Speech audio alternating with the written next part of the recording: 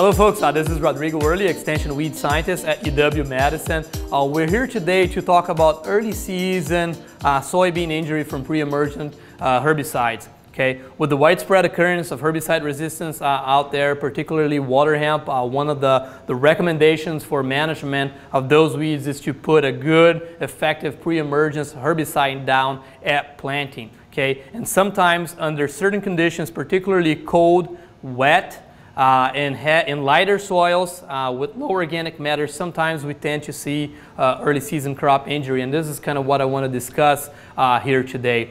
The first one uh, your group 5 herbicide, photosystem 2 inhibitors, and metribuzin is the, the one we use in our soybeans. And the typical injury that you see there from soybeans in our, when the unifoliates are out, you're going to see this interveinal chlorosis uh, and then uh, some necrosis there. And the necrosis chlorosis usually start from the edges of the leaf with a V shape kind of coming in. The second group, group 14, herbicides, there are several active ingredients that are used. Uh, these are PPO inhibitors, uh, so they tend to burn. So when that seedling is emerging, the hypocotyl is exposed. The hypocotyl is really sensitive, particularly when you have rainfall and splashing of that those products into either the cotyledons or the hypocotyl there, you get some necrosis of the plant, and that's what we're seeing here. And that necrosis leading to some uh, stunting of the plant okay?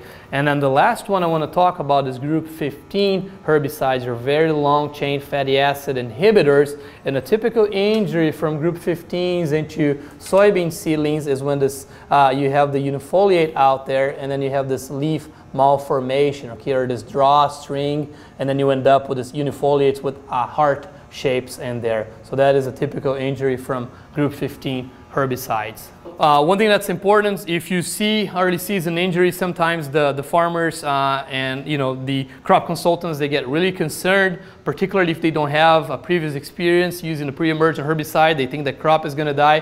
Uh, if everything was sprayed according to the label and if you have a good, if you, if you did a good job putting your crop in the ground at a good recommended uh, seeding rate, uh, our research that we have conducted has shown that early season crop injury is not going to translate in any type of yield loss. Okay? And the benefits that the pre-emergent herbicides bring to the system in terms of weed control, they by far outweigh any concern uh, related to early season injury. Okay? And I'm just going to wrap things up here. And if you look at the, the new trifoliates, uh, you know, the cotyledons and the unifoliates are the most sensitive stages. But if you start looking at the trifoliates who are coming in there, uh, after that, that plant is going to grow uh, normally. Okay? Especially under warm uh, and wet conditions, that soybean crop is just going to take off. Okay, so put a pre down. Uh, if you see uh, some early season injury, uh, don't freak out, hang in there. Uh, watch the new uh, growth there. If the new growth is coming fine, uh, that crop is going to be just fine.